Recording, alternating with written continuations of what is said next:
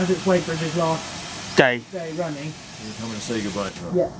So I'll be out here for 13 hours. Out on the road. 13 hours running. Yes, I don't think, uh, Weybridge will what happens in years before she comes back, isn't she? Hmm. Who does What- she belong to? Uh, 73% us. Right. We own 73% of the uh, the group that owns it. Right. We bought the Bodmin and Wenford Railway share back in 2008.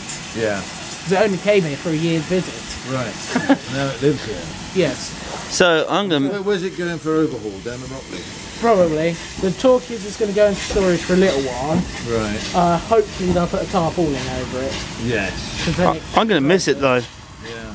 because you know what the guy from Shalford says. He says it fails all the time, which is nonsense, really. Only failed a few times though, but not all the time.